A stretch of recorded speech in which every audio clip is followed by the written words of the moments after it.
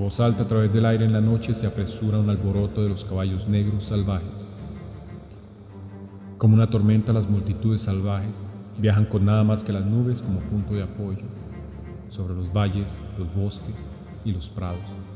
A través de la oscuridad y el clima nunca prestan atención. El viajero se tira al suelo asustado. Escucha, qué clamor. Son las fuerzas de Asgard. Primera estrofa del poema del noruego Johann Sebastian Bellhaven, de 1844, Asgard Rhein, la cabalgata de Asgard.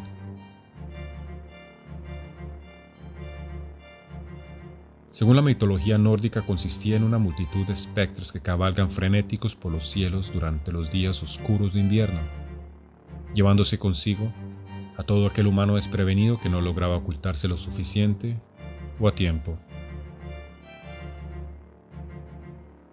De igual manera se llama la magistral pintura al óleo del pintor noruego Peter Nikolai Arbo, de 1 metro centímetros por 2 metros terminada en 1872, conocida en español como la Casa Salvaje de Odín.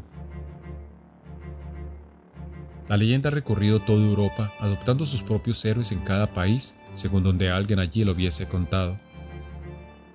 Peter Nikolai Arbo dedicó más tiempo de su talento a las escenas inspiradas en la mitología escandinava, sin dejar de lado momentos históricos de su país natal Noruega, y además de numerosos retratos y encargos por parte de varios clientes.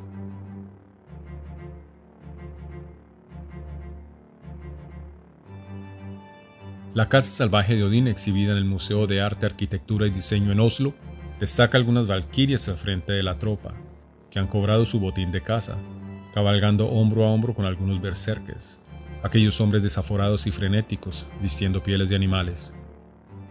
Sobresale por encima de todos sus súbditos aquel que comanda la faena en su carruaje tirado por cabras salvajes, Thor, con su martillo en mano, arrecia la marcha con sus gritos que casi los podemos escuchar a pesar del estruendo de la multitud en estampida. La primera versión en 1868 de un metro punto .69 por 2 metros punto .41 de la Casa Salvaje de Odín se conserva en el Museo de Arte Nordorsk, en la ciudad de Tromsø. Vemos una composición un poco más sencilla, un colorido más cálido y un trabajo lumínico menos dramático.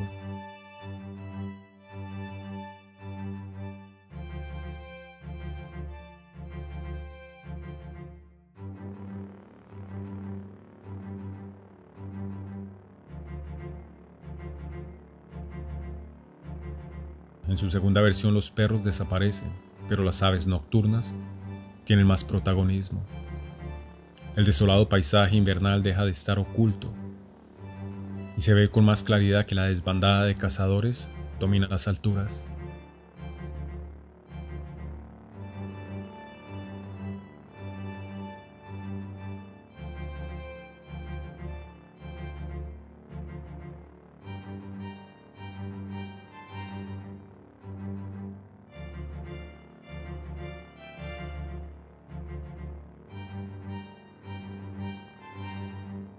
El mito se ha visto reflejado también por otros artistas escandinavos, con sus creaciones en la pintura y también en la escultura.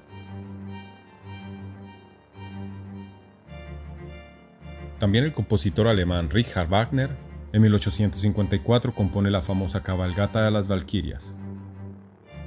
En 1988 la pintura fue carátula del álbum Blood, Fire, Death de la desaparecida banda sueca de black metal Bathory. Figuras literarias que parecieran motivar pintores para hacerse visibles, saltar de las páginas a los lienzos y embellecer así aún más nuestras bellas artes. Bellas artes que podemos apreciar sin temor al tema.